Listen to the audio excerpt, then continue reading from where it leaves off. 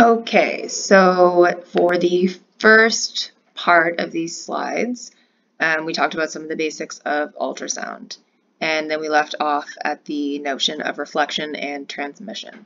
Um, so we talked about such notions as the signal moving through a medium, hitting a boundary, and reflecting back, um, where that signal will have a velocity through that medium, um, and will have a distance that's traveled and it will travel in a specific time frame.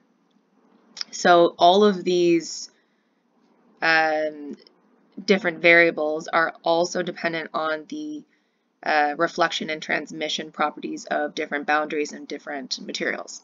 So this is what we're going to talk about in this next section. So when an ultrasound wave encounters a tissue surface, a fraction of the wave is backscattered and detected by the transducer upon return. Generally, only the waves that reflect back through about 180 degrees can contribute to an ultrasound image. By measuring the delay between pulse transmission and pulse reception, and knowing the speed of propagation, the depth of a feature can be calculated. Um, the intensity of the echo is used to determine the brightness of the image at the reflecting tissue surface. So here we can see that we have um, uh, our pulses coming in and we can see that we have two different tissues here. So we've got tissue 1 and tissue 2 and then there's a boundary in between. Um, at the point at which this signal hits this boundary, some of that signal is transmitted through to tissue 2 and some of that signal is reflected back through tissue 1. In both cases, um, the, the signal encounters attenuation.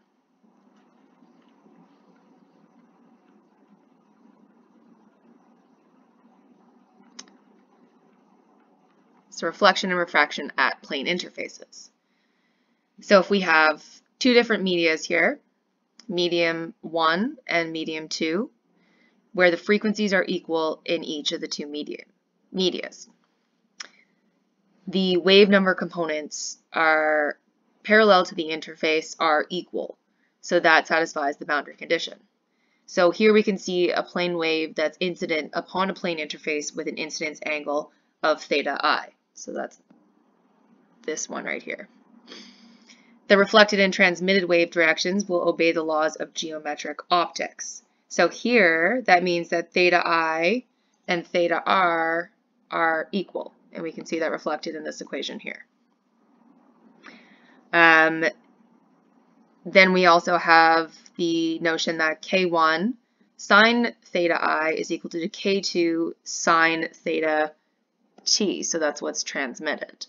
If k in this instance is equal to 2 pi times the frequency over velocity, where we know that the frequencies are equal in each of the two mediums, then this whole top part becomes a constant we can get rid of it. So if we fill um, this equation into this equation and rearrange it, we end up with these equations, uh, which is known as Snell's law. So sine of theta i over the velocity in i, so here is equal to sine of theta t, so it's transmitted uh, divided by velocity 2. So again, as I just mentioned, the only the waves with normal incident and reflection, so at theta equals 0, can contribute to a true ultrasound image.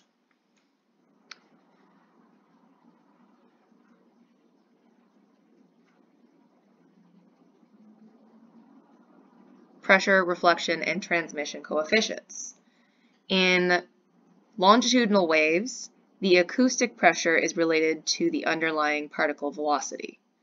They are linearly related by the value of Z, where Z represents the acoustic impedance value. The term impedance is used because it's considered analogous to electric circuits, um, where acoustic pressure can be considered analogous to voltage, and particle speed can be considered analogous to current. Acoustic impedance is a constant for a specific material and is analogous to electrical impedance. As impedance increases, it inhibits the velocity or the current for a given pressure or voltage.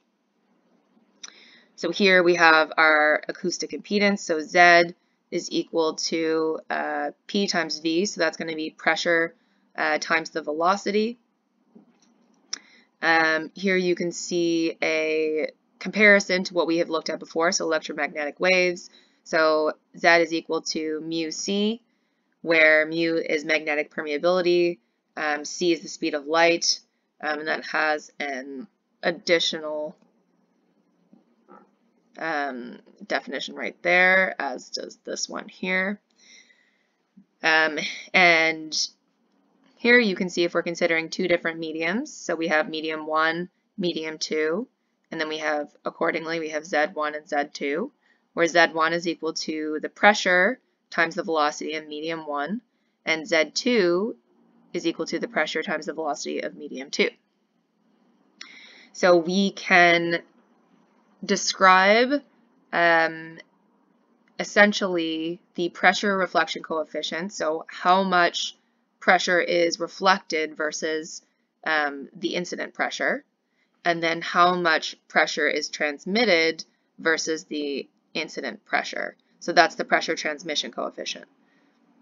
So we can actually get values for the pressure reflection coefficient and the pressure transmission coefficient by using these impedance values. So the equations for which are here for reflection, of course, and here for transmission, where transmission is going to equal 1 plus r. These are ratios, so they're bounded generally um, between negative 1 and 0 or 1 and 0.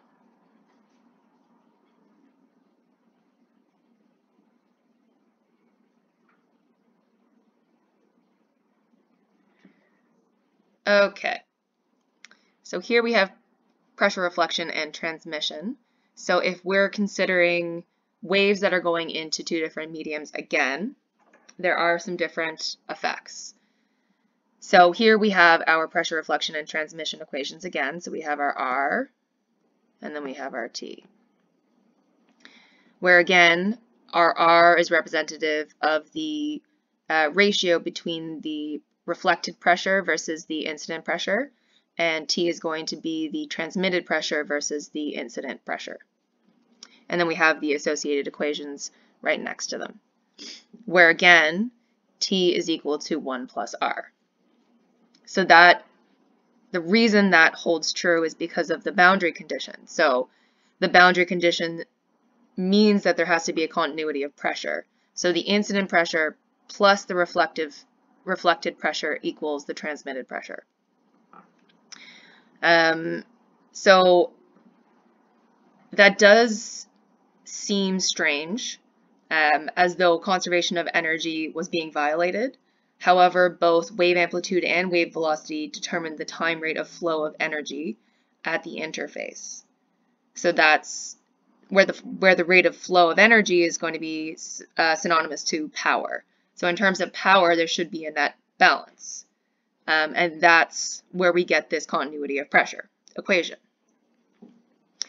Um, so here, if we have our medium 1 and medium 2, we have an incident wave that's coming in here. Um, and of course, it reaches this boundary here where Z1 in this case is less than Z2. So here, if we know that Z1 is going to be less than Z2, and we consider this equation here, we know that Z2 minus Z1 is going to be a positive value. So then we also know that because this is a ratio, we know it's going to be bounded by 0. So essentially there are there is no reflection. So 0 and then 1. So 100% reflection. Here, if we then know the bounds of r, we also know the bounds of t. So if we consider this equation t equals 1 plus r, we then know if r is 0, t is 1, and if r is 1, then t is 2. So we know that, the, that this is bounded here by 1 and 2. Um, so when this wave does hit this boundary, it does reflect back to some degree. If there's a difference in these impedances, there will always be some transmission and some reflection. It does reflect back in a constructive manner. Because this is constructive, it actually ends up amplifying this transmitted pressure. So I'll have a better example of that in, in just a second. Um, so if we move to this other example where Z1 is going to be greater than Z2, so the impedance here is greater than the impedance here, and we go back to our equation for R, if we know that Z2 is going to be less than Z1, then Z2 minus Z1 is going to be, this whole term is going to be negative. So then, again, we know that we're dealing with a ratio here, so it's going to be bounded by negative 1. So again, 100% reflection, but in the opposite, uh, with a phase shift here. So it's going to be destructive, not constructive. And then it's also going to be bounded by 0. And again, if we consider this range as compared to our equation up here, we know that if um, r is negative 1, then t is going to be 0. And then we know if r is 0, then t is going to be 1. So t here is bounded by 0 and 1. So here, this is an example, again, as I mentioned, of a destructive type of reflection. So it's going, this incident wave is going to hit this boundary. Some is going to be reflected, some is going to be transmitted. However, um, the way that this pressure is reflected, um, it actually decreases the amplitude um, and I guess the power of this transmitted pressure. So there is a better example of this that I'm going to pull up.